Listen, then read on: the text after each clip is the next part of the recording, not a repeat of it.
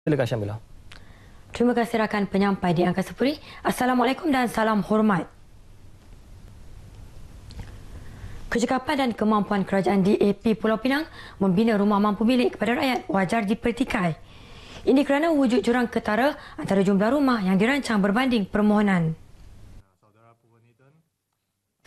Menurut Ketua Biro Publicity Gerakan OIZT, daripada 12,601 senarai menunggu bagi perumahan mampu milik kategori A berharga RM42,000 ke bawah, masih berlaku kekurangan sebanyak 2,798 unit rumah.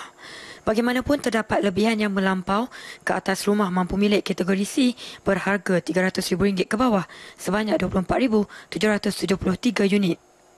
Keseluruhan permohonan dalam senarai menunggu setakat ini bagi kategori A, B dan C ialah 9,342 pemohon. Secara dasarnya lah, secara dasarnya kerajaan DAP Negeri Pulau Pinang mereka gagal lah merancang untuk uh, masa depan uh, rakyat Pulau Pinang dengan mempunyai satu perancangan yang baik uh, mengenai demand and supply lah according to the demand and supply uh, perumahan di negeri ini. Katanya perumahan merupakan isu kritikal di Pulau Pinang dan kerajaan negeri perlu menanganinya segera kerana kerajaan DAP Pulau Pinang sebelum ini begitu yakin dapat memendekkan tempoh pembangunan kepada lima tahun bagi membina dua kali ganda jumlah yang telah dibinanya dalam masa sembilan tahun.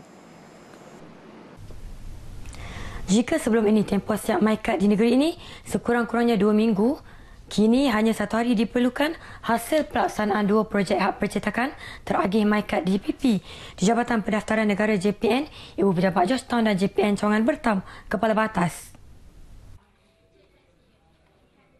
DPP juga membolehkan tempoh siap MyCard di Sub Cawangan berkurangan kepada lima hari. Ini kerana hub terbabit akan mencetak bagi cawangan-cawangan JPN yang tidak mempunyai mesin percetakan.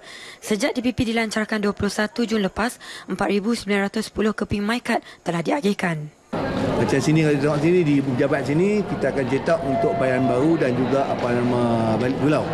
Ha, di sana bertam dia akan cetak untuk Butterworth, untuk uh, Bukit Bertajam dan juga untuk di Jawi. Datuk Muhammad Yazid sebelum itu merasmikan hak percetakan teragih di Ibu Pejabat JPN Pulau Pinang di Georgetown. Pulau Pinang merupakan negeri ke-8 melaksana program DPP. Berusia 38 tahun dan berstatus ibu tunggal kepada 8 anak, sepatutnya tidak terlintas mengambil bahan terlarang. Umpama tidak matang, wanita yang hanya mahu dikenali sebagai Aini turut mengakui kesilapannya bergaul bebas tanpa memikirkan masa depan anak-anak dan menjadikan dadah sebagai peneman. Namun kini hukuman penjara yang dijalaninya bagai memberi seribu keinsafan. Berjanji tidak akan mengulanginya, Ani berazam memulakan hidup baru sebaik dibebaskan dari penjara Jawi Seberang Selatan bulan depan. Sebab ngaruh kawan-kawan macam nak cari ketenangan, tiba-tiba salah langkah. Itulah salah langkah tu pilih kawan, salah pilih kawan lah.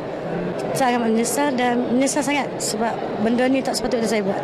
Di umur lingkungan saya tak patut saya buat. Penghuni penjara Jawi Seberang Pesatan ini diraikan pada program Nur Idul Fitri dengan kerjasama Radio Malaysia Mutiara FM. Turut hadir pengarah kompleks penjara Seberang Perai Hussein Johari. Taktik sekumpulan warga asing mengubah suai dinding bangunan untuk dijadikan tempat kediaman terbongkar apabila Jabatan Imigresen Negeri menyerbu sebuah bangunan komersial di Bandar Perda. Pengarah Imigresen Negeri Mir Hezbollah berkata ruangan digunakan 13 penghuni warga Bangladesh dan Myanmar. Seorang lelaki berusia 30-an turut ditahan selepas semakan mendapati dia dikehendaki polis berhubung kesalahan jenayah.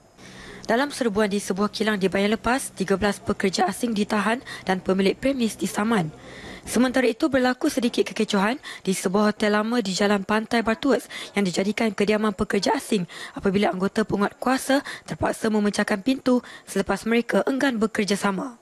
Empat warga Bangladesh ditahan kerana tidak memiliki dokumen dan permit kerja yang sah.